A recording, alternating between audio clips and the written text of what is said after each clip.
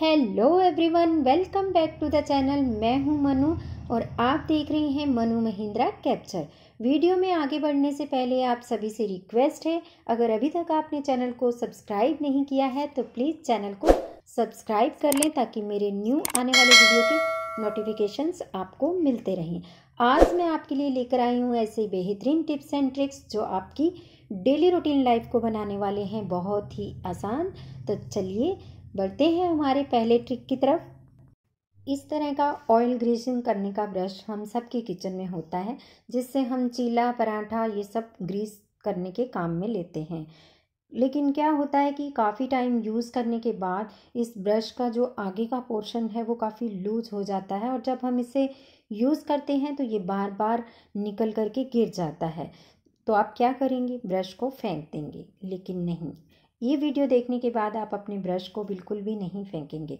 Food को pack करने के लिए एल्युमिनियम फॉयल सबके घर में होता है।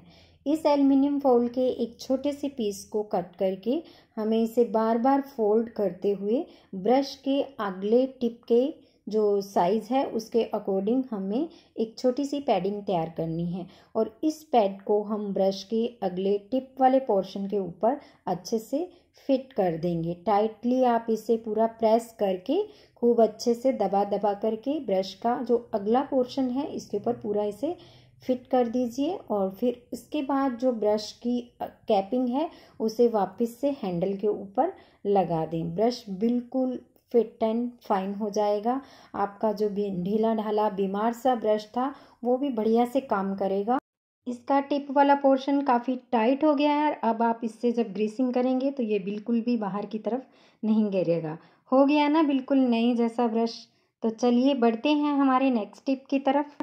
मार्केट से ग्रोसरी का सामान हम इस तरह के पॉली बैग में लेकर के आते हैं। बहुत सारे लोग जो रेंटेड अपार्टमेंट में रहते हैं या जो सिंगल लोग हैं, उनके पास कंटेनर नहीं होते। घर में भी कई बार एक्स्ट्रा पड़ा हुआ सामान जो होता है, हम इसी तरह से पॉली बैग में ही छोड़ देते हैं। और अगर हम इन पॉली बैग को ही कंटेनर में चेंज कर दें तो कैसा रहेगा? हमारा फ़ूड आइटम भी इधर उधर वेस्ट नहीं होगा, गिरेगा भी नहीं। तो इसके लिए हम क्या करेंगे? इस तरह का खाली वाटर बॉटल लेंगे और उसका ऊपर का जो कैप वाला पोर्शन है, उसे हम गरम नाइफ की हेल्प से बहुत ही केयरफुली अलग कर लेंगे कट करके। ये देखिए, मैंने बोतल का जो ऊपर का टिप वाला पोर्शन है, उसे अलग कर लिया है। ढक्कन हटा करके हम इसको पोली बैग के अंदर अच्छी तरह से फिक्स कर देंगे। ये देखिए, इस तरह से पोली बैग के दोनों ऊपर के हैंडल को हम इस ढक्कन के नीचे वाले पोर्शन में से बाहर निकाल लेंगे और ये देखिए, ये इस तरह से बिल्कुल कंटेनर की तरह हो गया है। आप जब चाहें फ़ूड आइटम को आपको निकालना है बाहर, आप निकालिए और फिर से ऊपर ढक्कन लगा करके इसे बंद कर दीजिए। हो गया ना बढ़िया से इंतज़ाम एकदम कंटेनर जैसा। इसी तरह से वॉशिंग पाउडर की पैकिंग को भी आप कंटेनर में चेंज कर सकते हैं। वॉशिंग पाउडर की ऊपर के टिप को आप कैप के साइज़ के अकॉर्डिंग कट कर लें और कैप को उसमें फिक्स कर दें और ऊपर से इसे अच्छी तरह से रबड़ लगा करके फिक्स कर दें ताकि ये बार बार बाहर की तरफ़ नहीं गिरे। हो गया ना? बिल्कुल कंटेनर के जैसे ही आप इसमें से जितना भी आपको वॉशिंग पाउडर चाहिए, आप उसमें से निकाल लें और फिर से इसके ढक्कन लगा के इसे बंद कर दें। इस तरह से वॉशिंग पाउडर आपका इधर उधर गिरेगा भी नहीं और फैलेगा भी नहीं।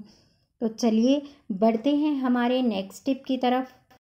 कई बार क्या होता है, हम किचन में काम कर रहे होते हैं और हमें किसी रेसिपी का वीडियो देखना होता है या हमारे किसी अपने का वीडियो कॉल आता है तो हम इस वजह से वो कॉल अटेंड नहीं कर पाते हैं कि फ़ोन को कहाँ टिका करके रखें। तो ऐसे में हम अपने घर के जुगाड़ से ही काम चला सकते हैं। जैसे आपके पास अगर कोई पुराना टैप रोल पड़ा हो, इस तरह का टेप वाला रोल पड़ा हो या टेप है भी उसमें लगा हुआ तो भी आप उसे इस तरह से मोबाइल स्टैंड की तरह यूज़ कर सकते हैं। है ना? ये भी बहुत बढ़िया सा जुगाड़ फ्री का नेक्स्ट टिप है अदरक के लिए। जब हम ज़्यादा क्वांटिटी में अदरक लेकर आते हैं तो इसे हमें स्टोर करके रखने में प्रॉब्लम आती है। या तो हम इसे ग्राइंड करके स्टोर करते हैं।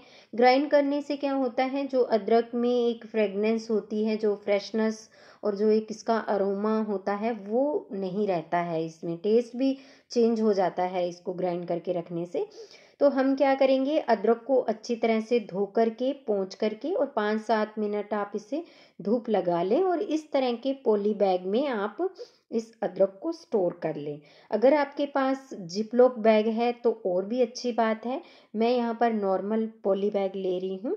इसमें हम अदरक को पूरा डाल देंगे और अच्छी तरह से ऊपर से इसे एक रबड़ से कस के टाइटली इसे पूरा पैक कर देंगे। और फिर इसे आप ऊपर फ्रीज़र में रखें। नीचे नॉर्मल फ्रिज में नहीं रखना है, ऊपर फ्रीज़र में रखें आप इसे। और जब भी आपको अदरक चाहिए हो, आप इसमें से उतना अदरक बाहर निकालें।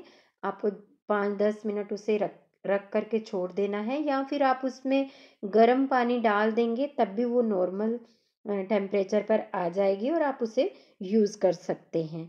है ना? बहुत बढ़िया टिप।